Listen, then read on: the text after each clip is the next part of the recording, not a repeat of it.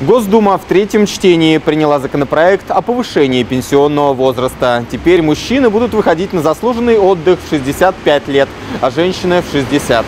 Что вы думаете по поводу того, что Госдума вчера в третьем чтении приняла законопроект о повышении пенсионного возраста? Для меня это очень печально. Мне жалко наших детей. Почему печально? Ну, потому что получается, что у них отняли часть пенсии, будут прибавлять для нас.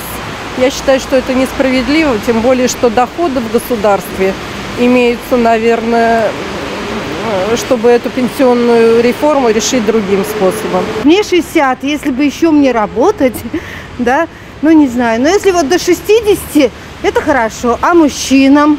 Представляете, ну, ведь работодатели, они, например, сейчас, наверное, э, желают молодых, но это не очень хорошо для женщин, потому что а, у них не будет возможности получать деньги и совместно работать, ну, как многие, например, делают.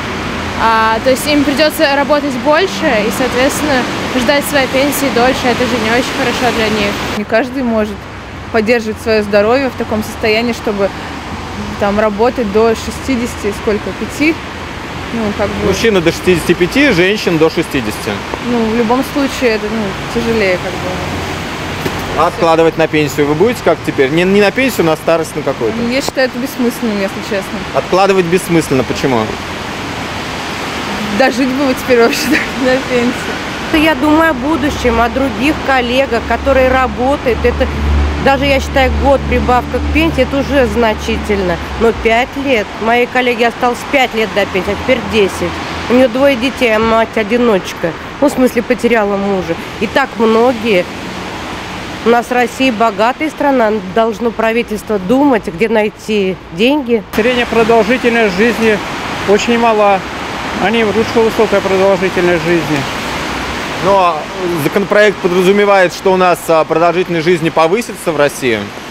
Как она повысится? Этого прогнозировать невозможно. Но обещают улучшить здравоохранение. Обещаниями. Вот когда, вот когда будет, тогда будем разговаривать на этот счет, будем соглашаться. А сейчас этого нет. Работать в таком возрасте, как бы, это очень сложно. Потому что если мы работаем, начиная, например, с 18 лет, когда заканчиваем техникум, то работать приходится очень много. Поэтому я считаю, что это очень тяжело. Ну а вы будете какие-то пути решения проблемы это искать? То есть, может быть, как-то откладывать на старость? А, ну так придется только, если копить больше ничего. Или надеяться на наших детей. 60 лет многовато вообще-то для женщины.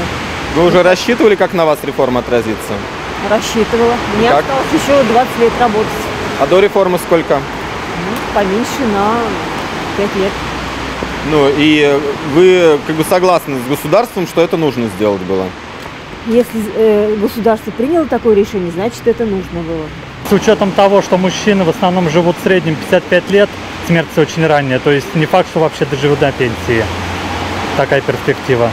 Закон о повышении пенсионного возраста вступит в силу после одобрения в Совете Федерации и подписания президентом. Несмотря на то, что в первоначальный проект внесли существенные коррективы, поправки в пенсионное законодательство – это, пожалуй, самая резонансная и непопулярная в народе реформа в России за весь 21 век.